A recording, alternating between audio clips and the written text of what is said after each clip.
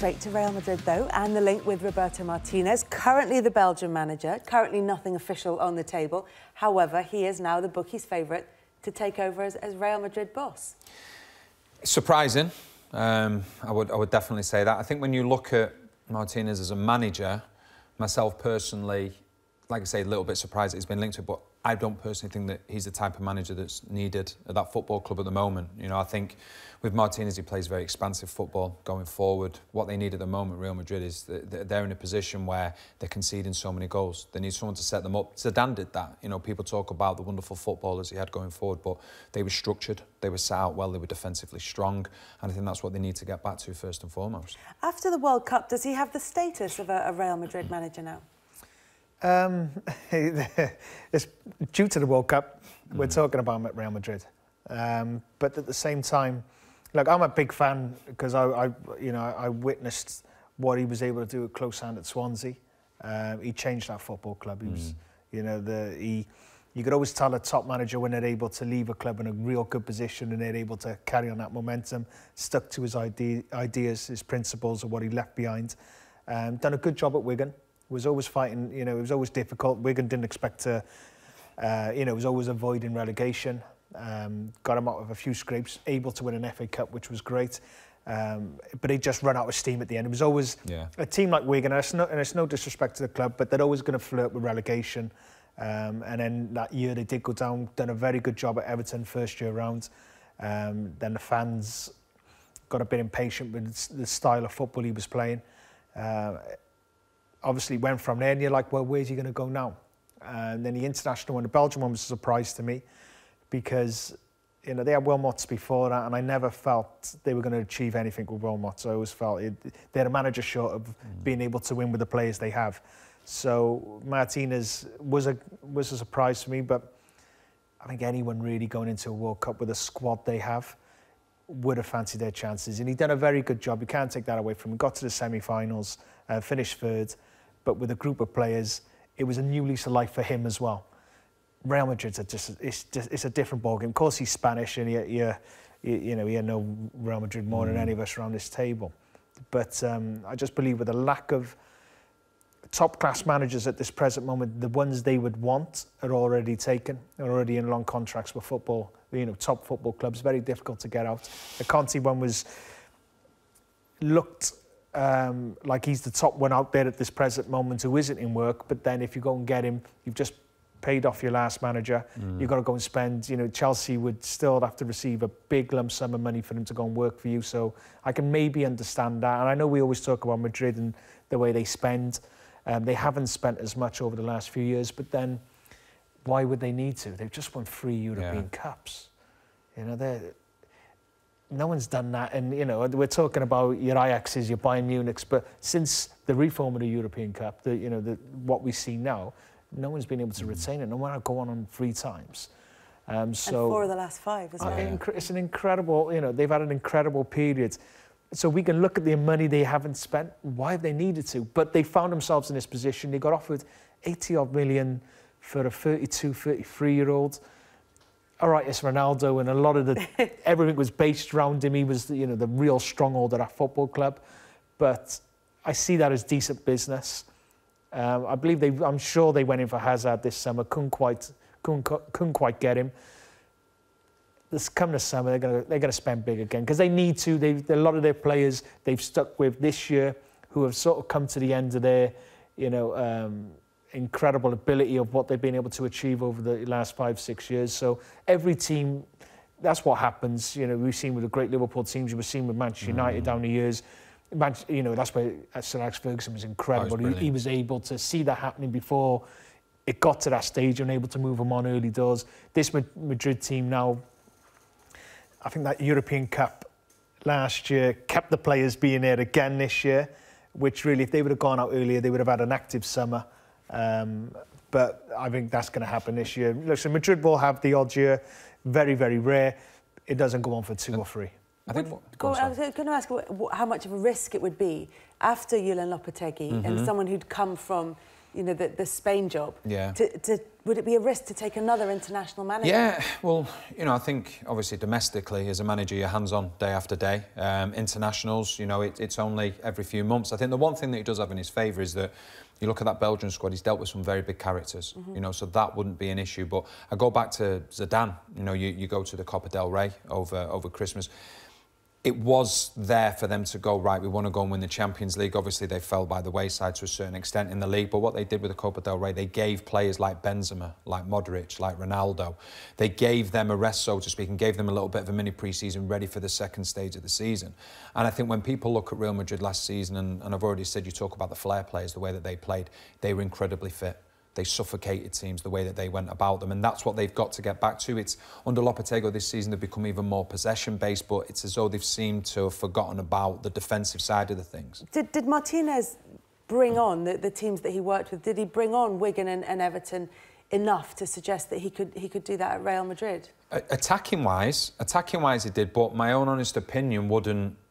I don't think attacking wise is a problem at Real Madrid. I think it's the defensive side of things. You know, there's there's over half of the league that have conceded less than them in the league, or well over half of the league. So the problem is, is getting the stability at the back, getting that back in, back into uh, into shape. Because the one thing you would say is, is time at Wigan and Everton, very pleasing on the eye, but at times, you know, you, you only have to look at the, the, the recorders in terms of the ranks. It's okay, they had the third 2013-14, the third best defensive record, but other than that, you know, you're looking further down the line, and that's where I personally think when you look at Real Madrid now, that's where they need to get back to because a lot of teams have been scoring goals. You look at uh, Sevilla, I think they scored three against them recently. You know, and that's not something that you probably saw that often under Zidane because of the way that they worked as a unit.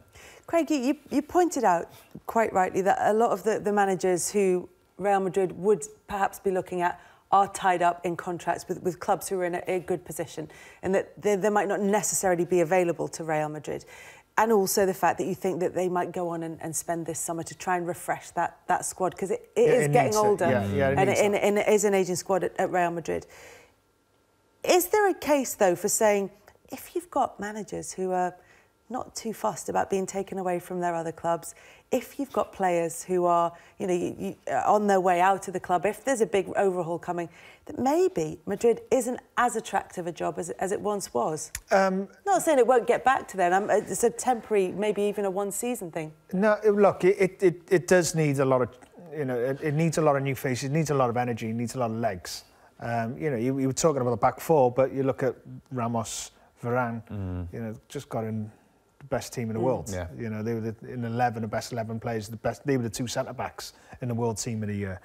Um, but a lot going on in front. Their intensity in the press is nowhere near. But I also, you know, there's there's one or two players who haven't quite got that level that they once had, which happens with age. It does happen, and the intensity of what Real Madrid have to play up because Champions League's everything to them. La Liga, the north fronts of all competitions.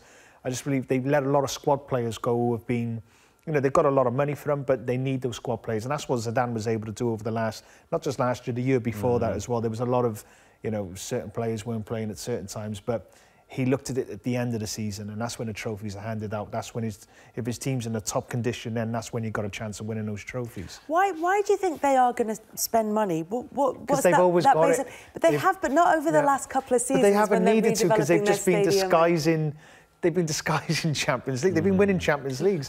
Why would you want to like if you were an owner? I'm looking at it and saying, well, you know, I'm, well, what do we need to spend? Well, we just won Champions League, mm. and we've just done it again. But you look at that compared to, to Manchester City, who are at the top, and all right, Manchester City and, and PSG, you would expect to be big spenders, and then Manchester yeah. United, well, we know Man- that they have done. Well, Manchester City and PSG are spending to get to where Real Madrid are. The- but yes, well, what about then Manchester United, if you look at them from three years ago, what about if you look at, at Barcelona? Are they, are they not, have they not been at Real Madrid's level? The one thing I would say about Real Madrid, and it's, it's a word that's associated with them constantly, is Galacticos. That's where they spend their money. You know, they go, they go big on, a, on an individual player. Do they be have that... any? Football's changing. Football is changing. We talk about Messi, we talk about Ronaldo. Okay, you've got Mbappe and Neymar. But after that, the Galacticos, they're not around as much as used to be. We only have to look at the World Cup. It was a collective team. Is Bale a Galactico?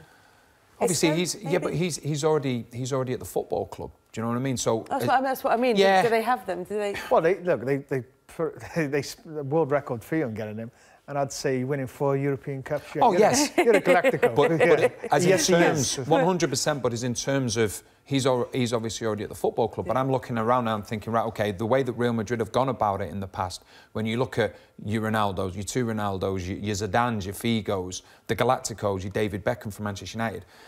The problem is now is that, like I said, football is becoming more of a collective now. So yes, there are still some so-called Galacticos around, but they're few and far between. So therefore, from Real Madrid's perspective, the money that they've spent a lot of the time, it's not been collectively, it's been on individual players that gives them that wow factor. But if there isn't as many of them about, then obviously you- you've got a, you've got a smaller pond Yeah, to and fish the, in. the ones that have been about, the ones they were interested in, because they, they wanted Mbappe, they wanted Neymar. Mm. Difficult to get Neymar from Barcelona, course, but they yeah. proved the case with Figo uh, that it can be done. You're dealing with different money now. It's not what you have as Madrid. You're dealing with countries who have billions and billions who are able to go and spend now. So PSG can rival you. They can offer that little bit more because we're dealing with different money that Madrid have always been the, ma- the main people. You know, the, as a club, they've always been able to spend more than any other football club. That isn't the case anymore. I think But that, that's that's kind of kind of taking me along where we were, were starting off at the, at the beginning, which is, are Real But- Madrid still Real Madrid? I mean, you, you say where it's still the pinnacle. Where but- would Neymar want to go? Where would Mbappe what he- want to go? Where but they- does Hazard want to go? Hazard his dreams to play for Mm. Real Madrid. All these players, and that's the same. Barcelona w- are in that as well. Mm. I believe you can ask, you know, where, even if I'm like, say I support Liverpool, you give me one. Say you do. Let's just pretend, shall we? Say I do, right? you give me one football club in this world, apart from Liverpool. Like I, I always wanted to play for Cardiff because I grew up there. So that was always, you know, always on my radar. Always something I wanted to do. But if you offered me one football club out there I want to go and play for, it would be Barcelona. from, from a And manager's that's me living in Cardiff. That's me You- being up. there- That's the one. That, club and that's you who said Real Madrid's the pinnacle. from, a, from a manager's from a manager's perspective, and you hear a lot of managers talking about it now. We've we've heard Klopp talking about it. We've talked Guardiola talking about it. Talk about projects. Going to a football club, you know, Klopp's gone into Liverpool the way he's done things. It's been a project for him, you know, slowly but surely, you know, starting to rise. Guardiola going in at Manchester City. Is Real Madrid is Real Madrid a project? And I know, like you say, it's the pinnacle for managers, but we're starting to see younger managers now wanting to get a football club where they can say, right, this is a project for me to get, you know, to slowly get to here. With Real Madrid, is Real Madrid a project? It could be a rebuild to a certain It- extent. You'll never get the time for it to be a project, Yeah. but it's going on behind the scenes where Yeah. it doesn't involve you. You're not here for a project. You're here to get us results. Yeah. That's why you're at the biggest club in the world. and that's why they have such a quick changeover of managers if they're not getting the results and the, and the They're- trophies that they expect. Look, they, they're the most successful club in the world, um, biggest fan base in the world, and I know one or two might question that. They really are, um, and what they, you know, they, they're, a, they're a different institution to what you know Barcelona as well. And there's one or two clubs who can creep into that. We're, we're lucky enough in the Premier League that we have one or two. But um, these football clubs are different, and Real Madrid is different. Listen, they've got rid of managers for winning European Cups, something that we would Yeah. couldn't get our heads around, but it's part of what they do. It's what they do, and that's what, you know, if they've won the most European Cups, who's to say their model's wrong? It, are they a, a less attractive? You can't- I'm I not- know I'm you not- get into- Well, I'm not. they're I'm not. not. It's- but I promise I'm not. I'm not trying to put the point that Real Madrid are not the huge club that they are. Are not still the huge club that they are.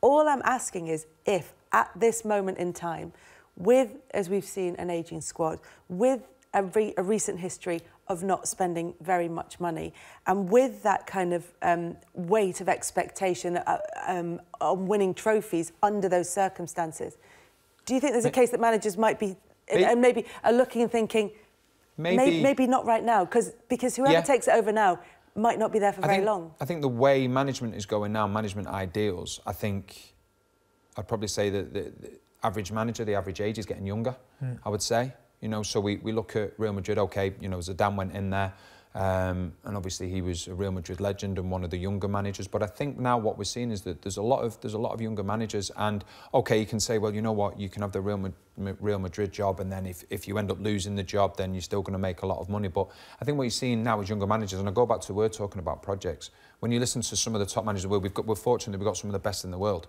in the Premier League. You look at Klopp, you look at Guardiola, the projects, what they're doing, and like I say, with, with Real Madrid, it's going on behind the scenes and what have you. I think managers now want a club where they can go into and reshape everything themselves. And we're seeing that now. We're starting to see the fruits of the labour at Manchester City, Liverpool in particular, without question. And they want to be there for a, for a number of years. But whereas with Real Madrid, it's not going to be seen as a project. And I just think younger managers, it's the pinnacle as a manager, no doubt about it. But I think younger managers are probably looking at things from a different perspective now. Um, Dan Sutcliffe got in touch to ask, out of the managers available, who would be the best fit for Real Madrid, who's big enough to match their egos. We kind of talked about the fact that a lot of the managers maybe they would want wouldn't be available, but if all things were equal, if they could get who they wanted, who'd be the best fit? Oh, uh, look, who, who are available? Yeah. Oh. Who isn't who isn't available? Oh, oh. No, Any, are you saying anybody? Anyone. Anyone out- Guardiola. Really for Real Madrid? Yeah, Guardiola. If you're, if you're taking everything away, Even take the Barcelona take, connection if, you're taking that, yeah. if you're taking everything away, he is, in, in my mind, Manchester City manager, he is the best manager on the planet. And if you're only taking away the the idea that it would be a manager who was available or not, then what would you? What's then what would available? you say? Oh come on, Danny! So you play the game. Every- everyone's- every- every- ah, I don't know. That we're not going to we're not it's a going to really- force you to do it. it's We're not really going to send you in to negotiate the No, contract. it is- it's- but would it's- it be Mourinho? Would it be Conte? Would Well, there's been talk about Mourinho Yeah, because that's- you know better the devil you know, so to speak. Mm. But obviously we know how that how that ended there and the situation with players and, and what have you. It's, But it, I mean, perhaps he's the defensive coach that you're you're talking about, the one who can can. well, I think he still holds a record in the league for the most goals in a season. Yeah, But I- it's such a difficult. but that's not one. where they need help, is it, Danny? Though. No, but defensively, That's you know, what that's what I'm saying. that, is so they're fine. They, Yeah. He he would sort them out defensively, but as in terms of it, I think when you look at it, I- think you know Pochettino would he be a good fit for them? You know, there's he? obviously, I think he would be a good fit for them. You're just trying to put words in my mouth, I'm now, aren't really you? That's not- great. Now you've got to go to pro- bed. I promise you, I'm not trying to get you to say I think Mauricio Pochettino would be great. I'm just, I'm just asking. I'm, I'm looking at, There's a- at the there's a- problems we're that lucky- they have and the There's a of load manager of good that would be managers at the moment. Yeah. Um, really, really talented managers, and we're we're lucky we have them in the Premier League. Yeah. You know, some probably the three, some of the best out there now. We're, uh, we're lucky enough we Yeah. get to see week in week out. So, um, I'm sure they would be the type of managers they would, you know, they would be looking up. But whether they can get you ain't going to be able to get them now. Not the clubs that are, not the contracts that are under. So, you know, it's going to be an interesting search for Madrid, um, and I believe the manager they do get in might only be there to the end of the Yeah. season.